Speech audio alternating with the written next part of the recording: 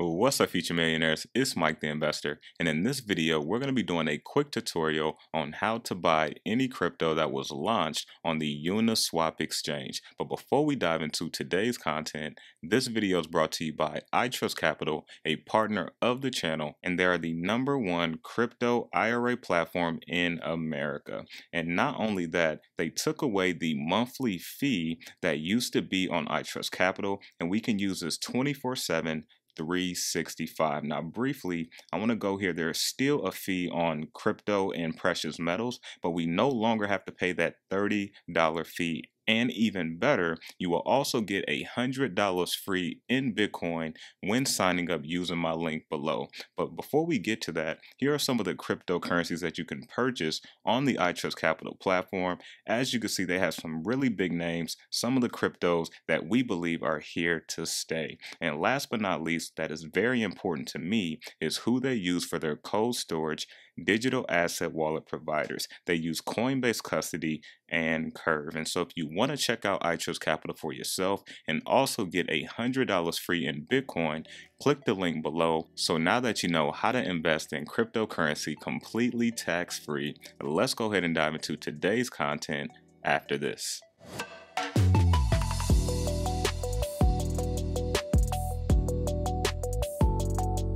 Alright crypto investors, welcome back to the channel. Now there are timestamps down below if you want to look at some specific sections in this video.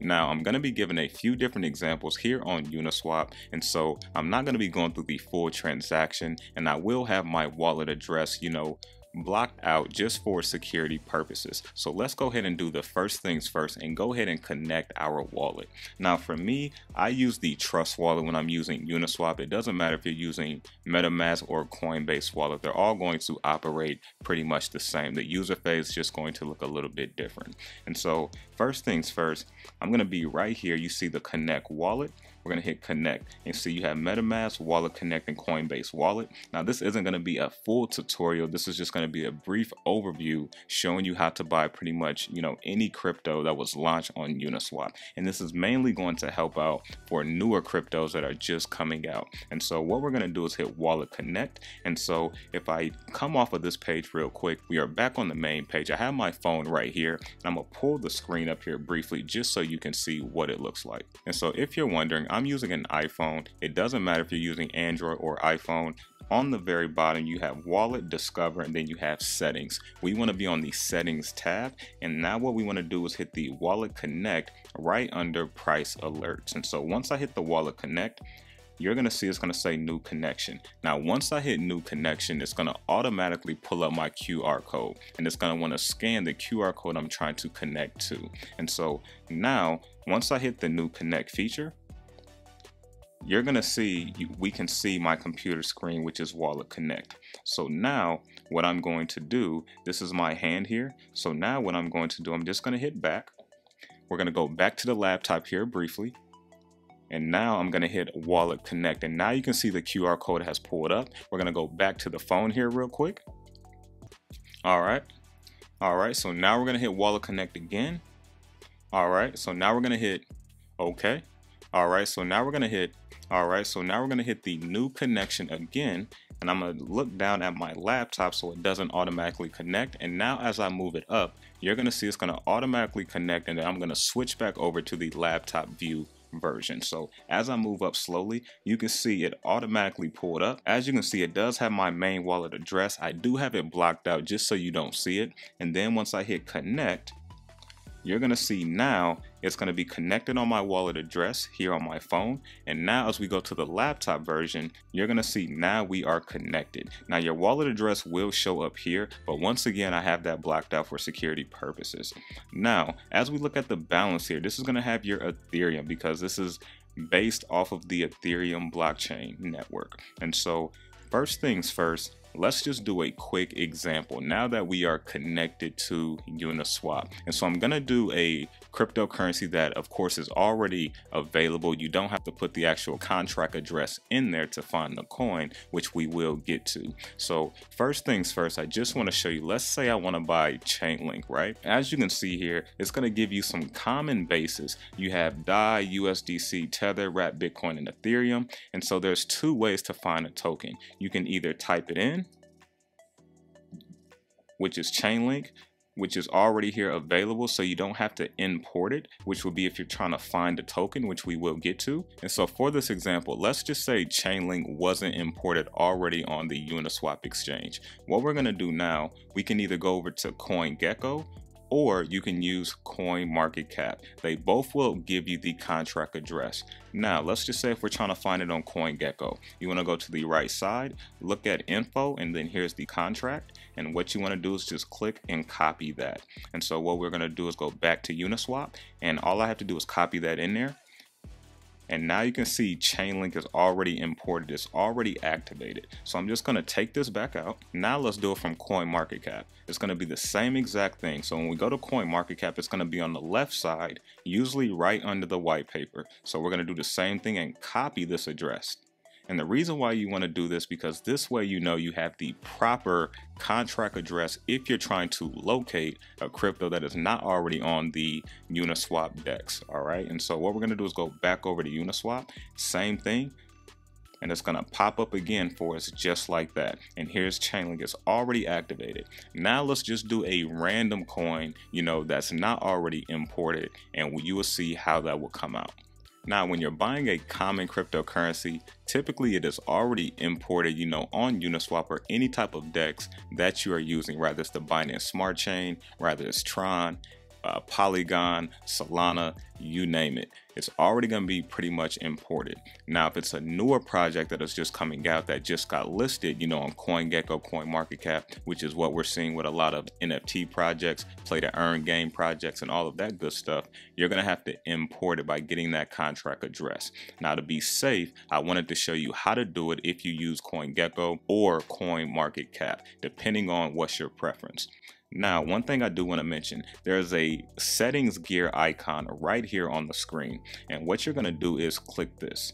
And as you can see, my slippage right now is set on 12%.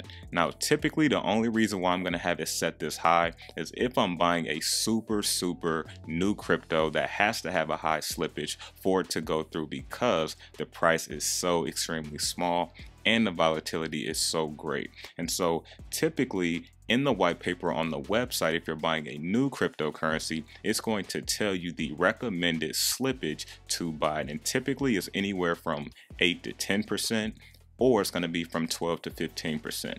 However, depending on what the market is doing, there may be times you have to raise it a tad higher to get that transaction to go through or also keep in mind depending on how much you're actually spending as well. So all that as well affects kind of how things go through.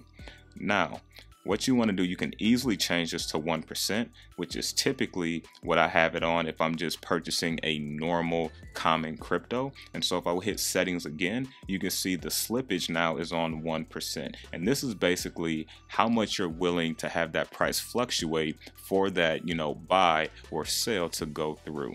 And so let's try to find a random token. And so let's just type in Inu. Um, let's see. Never heard of some of these. Koka Inu. Okay. Let's just see. I would imagine, yes, it's on Ethereum. And if you want to know, easy way right here, contract, you can see here's the Ethereum address. And another way to know, you can see here's MetaMask. MetaMask is a Ethereum based wallet. And so let's just say we're trying to locate this coin. And I have no idea, you know, what this coin is. I haven't looked into it. So this is just a st strict example, okay? Not any type of financial advice. I have no idea about this coin. And so what we're going to do is copy this contract address and now we're to go back over to Uniswap.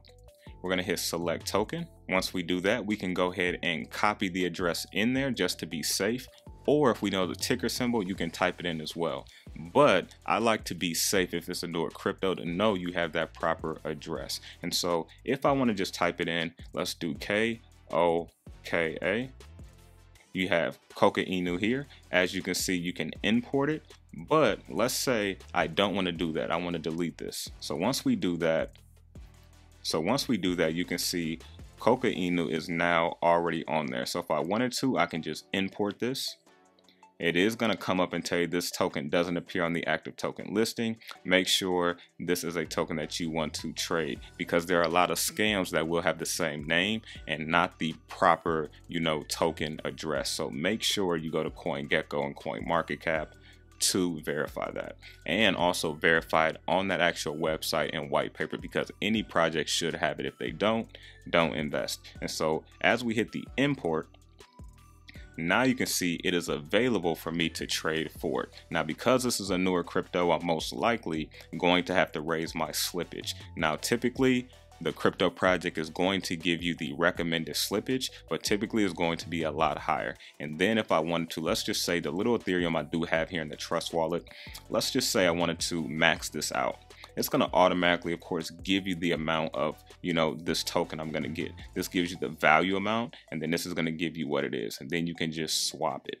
All right. And so once you go to swap it, it will pull up the wallet address on your phone, and then you're going to have to, you know, approve that and it will give you the amount of what the fees are as well as how much you're going to approximately get and so once you do that you are good to go. So this was just pretty much a quick example uh, to let you know on how to pretty much buy any type of cryptocurrency, whether it's a new crypto or a common crypto. And so briefly, I just want to show you where you can kind of find the average amount, you know, for Ethereum fees just for your own personal records. And so this is the crypto.com DeFi dashboard, and this is all Ethereum based. And so as you can see here, if we go down to Uniswap, this is going to tell us what the average fee is right now. As you can see, $382.21. So right now, where I'm currently living. I am in Central Time. It is around 2:14 p.m. And so, with that being said, there's a lot of you know congestion on a network, a lot of busyness going on, and so typically the fees are going to be higher.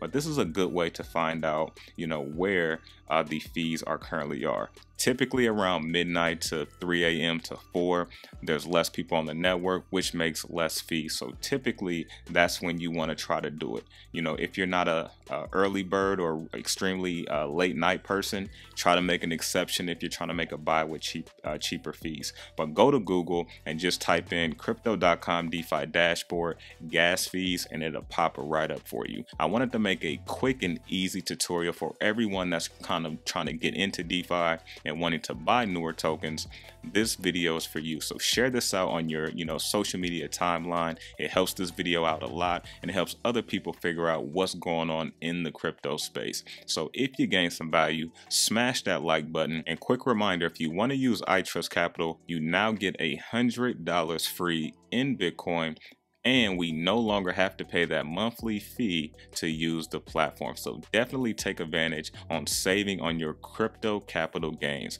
But that is all I got for you. Remember to stay inspired, stay motivated, always invest in yourself, and I'm out.